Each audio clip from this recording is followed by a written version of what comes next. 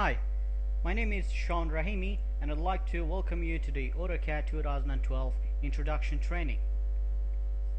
AutoCAD is one of the widely used programs in the world. It is industry standard for 2D drafting and design and for 3D conceptual design as well. We start our training by looking at AutoCAD's interface. I'll show you how the tools are arranged and how to use them.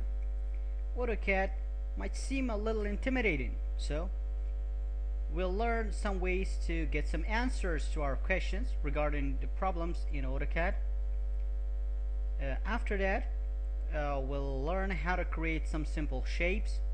All the way, I'll be reinforcing the drafting fundamentals, accuracy, and drawing units.